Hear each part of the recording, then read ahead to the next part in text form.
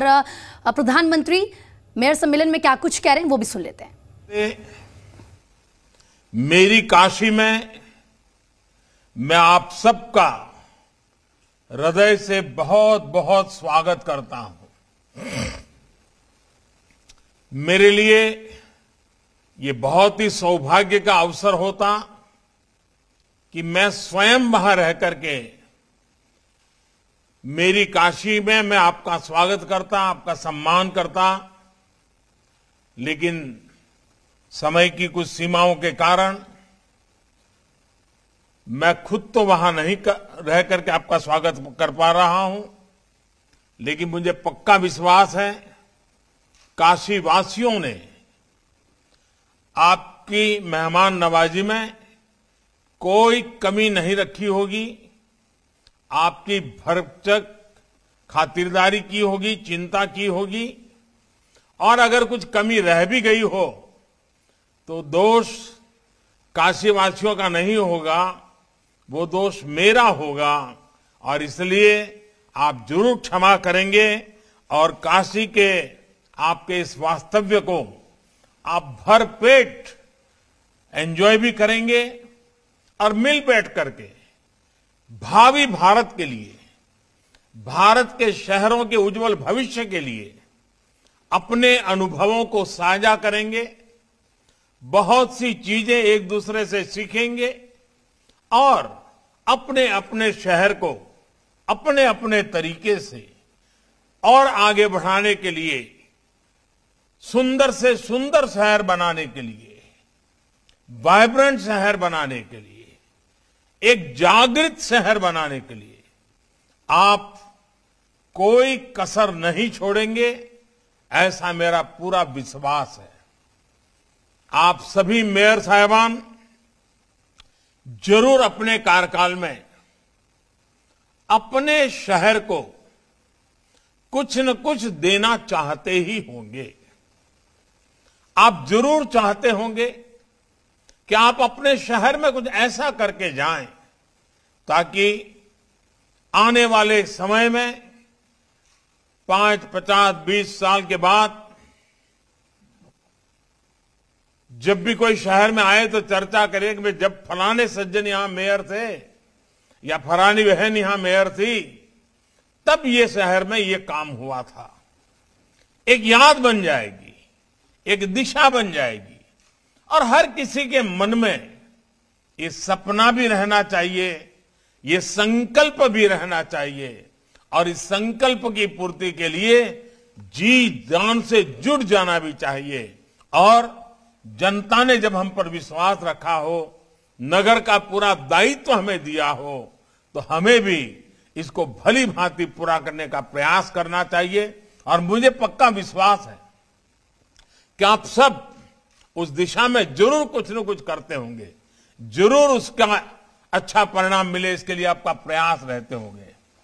और मैं आज शहरी विकास मंत्रालय को, यूपी सरकार को और आप सभी को भी बहुत बधाई देता हूँ कि आपने इस महत्वपूर्ण कार्यक्रम में के लिए बनारस को चुना है, मेरी काशी को चुना है, देश के विकास के लिए आपके संकल्पों से बाबा विश्वनाथ का आशीर्वाद जुड़ेगा तो आप सब कुछ न कुछ नया प्राप्त करके, नई प्रेरणा लेकर के, नया उमंग लेकर के अवश्य अपने अपने कार्यक्षेत्र में लौटेंगे।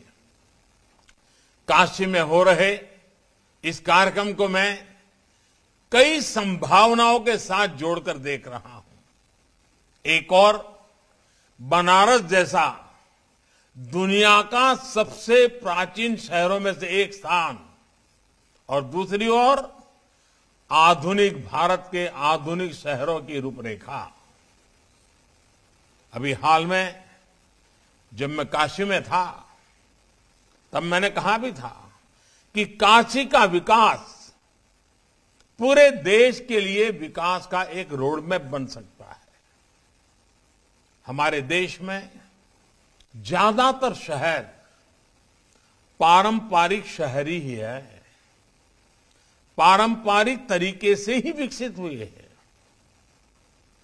आधुनिकरण के इस दौर में हमारे इन शहरों की प्राचीनता में भी उतनी अहमियत है। हम अपने प्राचीन शहरों में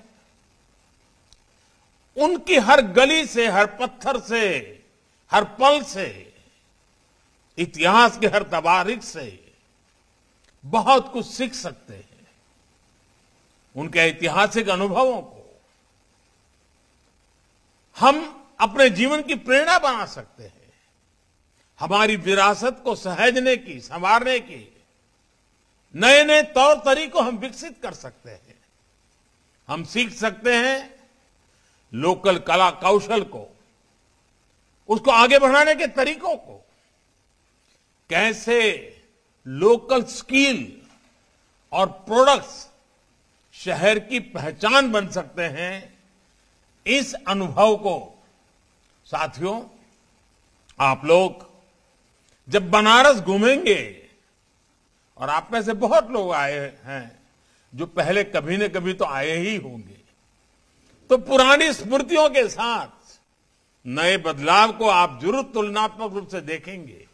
और साथ साथ आपके दिमाग में अपना शहर भी सवार हो जाएगा। और आप हर पल देखेंगे कि मैं जिस शहर से हूँ, वहाँ की गली और काशी की ये गली, मैं जिस शहर में हूँ, वहाँ की नदी और यहाँ की नदी, हर चीज़ आप एक पल पल पल तुलनात्मक अभ्यास करेंगे। और आपके साथ जो और मेयर होंगे, उनके साथ भी आप चर्चा करेंगे। उन्होंने क्या किया है, कैसे किया है, हम सबको चर्चा करते करते करते नए विचार मिलेंगे, नई कल्पनाएँ मिलेगी, नए कार्यक्रमों की रचना तैयार होगी। और वो अपने शहर में जाकर के जब आपका नेतृत्व उस काम को करेगा तो आपके शहर के लोगों को, आपके राज्य के लोगों को एक नई खुशी मिलेगी, नया विश्वास मिलेगा। स्वच्छता का अभियान चल रहा है। पूरे देश में हर वर्ष स्वच्छ शहर की घोषणा होती है। लेकिन मैं देख रहा हूँ धीरे धीरे कि कुछ ही शहरों ने अपनी जगह बना ली है। अच्छी बात है। लेकिन बाकी शहर निराश होकर के बैठ जाएँ। कि भाई ये तो उन्हीं को इनाम जाने वाला है, वही आगे बढ़ गए हैं। हम तो नहीं कर पाएँगे। ये मानसिकता नहीं होनी चाहिए। आप सभी मेयर संकल्प करें कि अगली बार स्वच्छता की स्पर्धा में आप किसी से पीछे नहीं होंगे। आपके शहर किसी से पीछे नहीं होगा। ये संकल्प कर सकते हैं, नहीं कर सकते मैं तो कहूँगा हमारे हरदीप पुरी जी को हम हम ये भी कोशिश कर सकते हैं कि जो श्रेष्ठ स्वच्छ शहर है, उनको तो इनाम देंगे ही देंगे। उनको तो रिकग्नाइज करेंगे, सम्मानित करेंगे।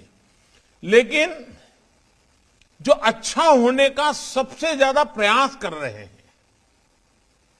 उनको भी हम रिकग्नाइज करें। और जो बिल्कुल आग बंद करके बैठ गए हैं, कुछ करना ही नहीं है। उनकी सूची भी निकाले और उन राज्यों में एडवर्टाइजमेंट करें कि देखिए, इस राज्य के तीन शहर हैं, वो इस स्वच्छता में कुछ नहीं कर रहे हैं। तो जनता का दबाव इतना बढ़ेगा कि हर किसी को काम करने का मन कर जाएगा। और मेरी मेयरों से आग्रह है कि आप सिर्फ़ स्वच्छता को साल भर के कार्यक्रम के रूप में न लें। क्या आप हर महीना बोर्ड के बीच, हर वार्ड के बीच स्वच्छता की स्पर्धा ऑर्गेनाइज कर सकते हैं क्या? जूरी बना करके इस महीने में कौन सा वार्ड सबसे ज़्यादा स्वच्छता का इनाम ले रहा है? अगर शहर के बोर्डों में कंपटीशन होगी बोर्ड के काउंसिलर्स के बीच में स्पर्धा होगी तो उसका क्यूमुलेटिव इफ़ेक्ट, टोटल जो इफ़ेक्ट है वो पूरे शहर का रूप बदलने में काम आएगा। और इसलिए मैं तो चाहूँगा, दूसरा, जैसे स्वच्छता का एक महत्व है, सौंदर्यकरण भी, ब्यूटिफिकेशन, ये भी मैं तो चाहता हूँ। दुनिया में ब्यूटी कंपटीशन होती है, जो होती है, वो होती है, मुझे उसमें कुछ कहना नहीं है।